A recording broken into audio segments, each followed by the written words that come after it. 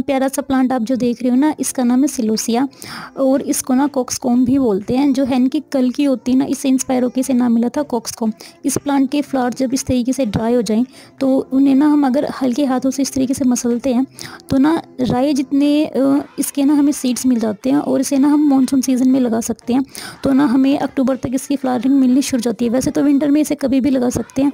इसको चार से पाँच घंटे की धूप चाहिए होती है और ये प्लांट हमें फेब से मार्च तक फ्लावर्स देता है।